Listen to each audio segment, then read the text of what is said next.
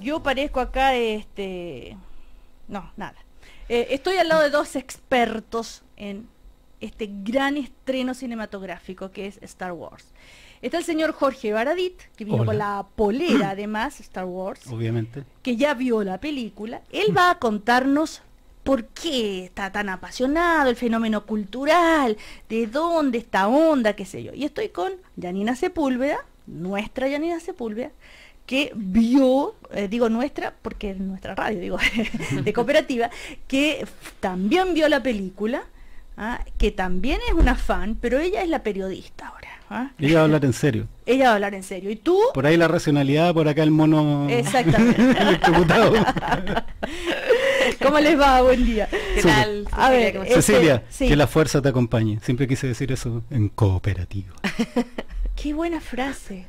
Sí, pues. La voy a, la, puedo pero por supuesto, hacer mía. Por supuesto. ¿La estás descubriendo, Cecilia? No, hacerla, hacerla digo, eh, no, nunca tanto. Eh, hacerla mía en, en esto, cuando me despidas y hasta mañana que la fuerza, no, eso va a pasar la doctora. Tú sabes que en seis, tú sabes que Obama terminó seis de sus discursos de la primera campaña con un que la fuerza los acompañe. Ah, de ser un fan entonces. Eres un fan. Ya. a ver, Janina, em, las reacciones en general de este episodio tan esperado, ¿no es cierto?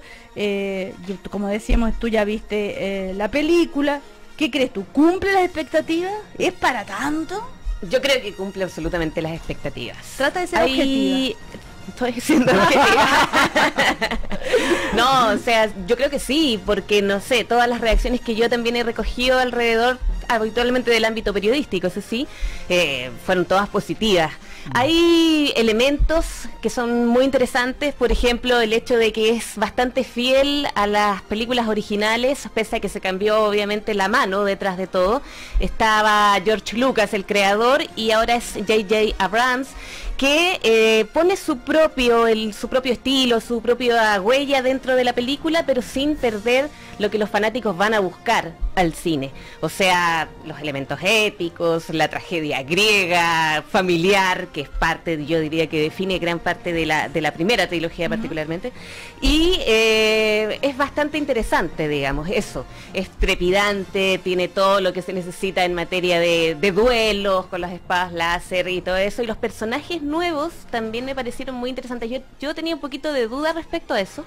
Decía, quizás no van a ser tan sólidos ni potentes como los primeros, como los que todos hemos conocido, los que han marcado la cultura popular, pero no, sabes que me sorprendieron gratamente y, no sé, eh, hay algunos elementos que quizás van a causar un poquito más de controversia, pero no podemos contarlos porque si no sería spoilear.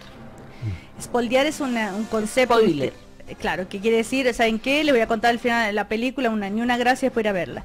Eh, en todo caso, esto de, mostrar por un lado el lado oscuro y el lado luminoso, como el lado oscuro es el mal y el lado luminoso, los que quieren defender la libertad.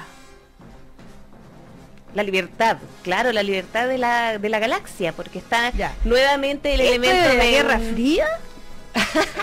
no, es, eh, esto ocurre después, 30, 30 o 25 o 30 años después del retorno del Jedi, que se supone que es la última, el último capítulo de la historia, pese a que se hicieron antes, por supuesto, esas películas.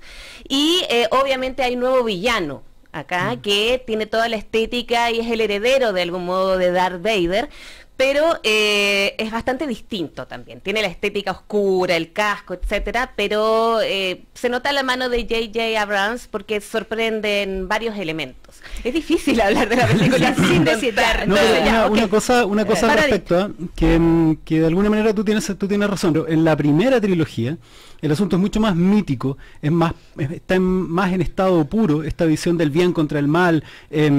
nosotros aquí en Chile siempre bromeábamos que nosotros los rebeldes estábamos contra esta dictadura de Darth Pinochet y había todo un reflejo con lo que estaba pasando en la ah. galaxia, ¿te fijáis? Por lo que yo te decía adelante, la ciencia ficción tiene esa característica, es un súper buen reflejo de la realidad frente a lo que la gente pueda pensar. Pero en la segunda se, puso más contingente Lucas. Y claro, en la última película, por ejemplo, cae una estatua de Palpatine similar a como votaban las estatuas de Stalin, ¿no? Y, también hace un reflejo de lo que estaba pasando en Estados Unidos, cuando a partir de lo que hizo Bush, de, a, partir de, lo que pasó con las Torres Gemelas, en el fondo, quitar libertades en nombre de la libertad, que era una paradoja imbécil, y que en el fondo Palpatine toma el poder justamente por, una, por un terror autoimpuesto, inventado. Entonces, no estáis muy lejos, Roberetti. ¿Viste? y eso que no sé nada de esta cuestión. ya, oye, eh, Janina, ¿y eh, eh, por qué dicen que no, qué bueno que cambió de mano? Porque Luca, eh, este viejito ya no, O sea, los críticos dicen eso, que estaba mm. gastada la, trilogía o, y que esto, ah, ya, qué bueno, no sé qué, pobre, ¿qué, qué estará pensando él? De estar llorando. No, de hecho yo creo que está contento. Es que ¿sabéis qué pasa? Que el George Lucas del año 78 fue un rompedor, fue un transgresor. En un momento en que el cine norteamericano estaba metido en un hoyo negro, con mucho cine de autor, muy oscuro, dándose vuelta, con problemas de, mm. taquilla y algunos estudios quebrados, aparece este, este santo grial de la entretención e inaugura una época que todavía no termina. De, entretención, popcorn y, altos box office, ¿te fijas? Entonces, eh, después, ¿qué pasó? El tipo se metió, se quedó pegadito en sus aportes, que fueron muchos, a la tecnología, al sonido con THX 1138, a los efectos con, eh, Skywalker, em, pero eh, se le pasó la mano en la segunda y perdió una cosa más.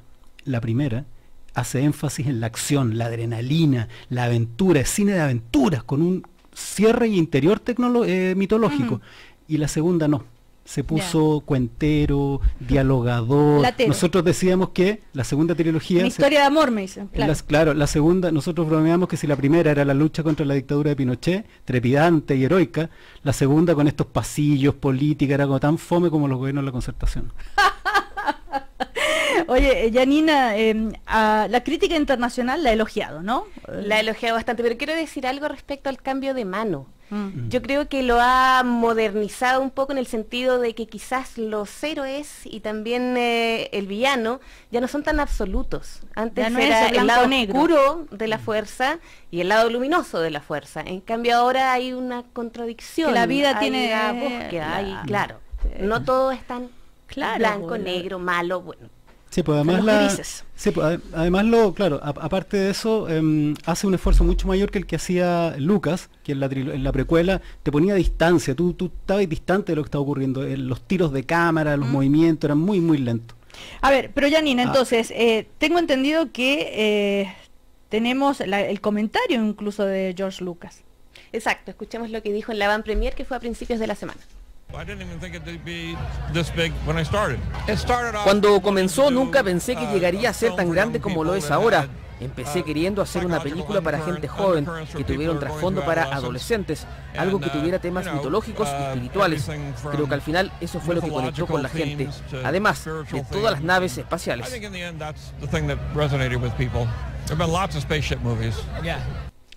Una película muy especial. Ah, este... Ahora, Janina, eh, esto de que hay todo un mundo que se ha desarrollado alrededor de esta saga, ¿no es cierto? Eh, es el, desde el estreno del 77 y eh, las reacciones que ha generado este estreno además en el mundo. ¿Hay, ¿Hay datos curiosos en ese sentido?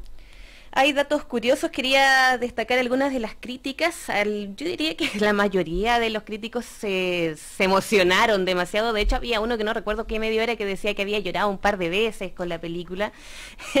Otros la calificaron de un clásico instantáneo que recupera el sentido de magia y de mito. El New York Times dijo que entrega emoción con un toque de humanidad. Y en respecto a los datos, bueno, tú sabrás que 4 mil millones de dólares pagó Disney por hacerse cargo de los derechos de Star Wars. Cuando la vendió Lucas, bueno, que en un principio, en el pasado, había dicho que nunca iba a vender la saga y que nunca iba a permitir que nadie le diera continuidad. Y finalmente él la vendió y él tenía también una historia escrita sobre lo que podía ser la secuela, pero en Disney no, no, no interesados y crearon sus propias. Bueno, entonces, eh, esta, me llamó la atención la cantidad de salas, Janina, en la que se va, a mostrar en Chile. La película, decías tú, que... Eh, es la que ha tenido la mayor apertura en Chile. Eso significa que en la mayor cantidad de salas eh, el estreno. Otras que habían sido grandes, no sé, como Avatar y todo eso, habían tenido, no sé, 185 salas, esta tiene 240. ¿Y esta es en 3D o es así normal? Está en todos los formatos. Yo la vi en IMAX 3D. Pero yo diría que el 3D no le aporta tanto en mi Pero más importante que eso tampoco molesta, que muchas películas pasan. No molesta, sí. Bueno, eh, Janina Sepúlveda, tú como periodista objetiva, ¿hay que ir a verla? Hay que ir a verla. Es parte de la cultura popular, hay que saber. ¿Y la música de, quién es?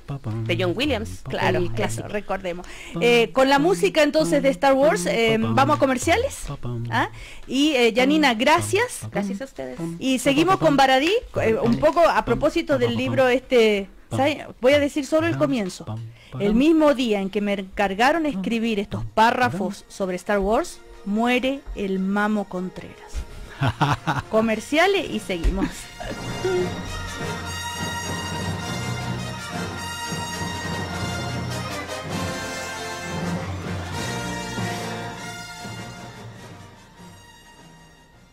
Hay dos tipos de mamás en el matrimonio de su hijo. Las que están sentadas mirando cómo baila su hijo y las que están bailando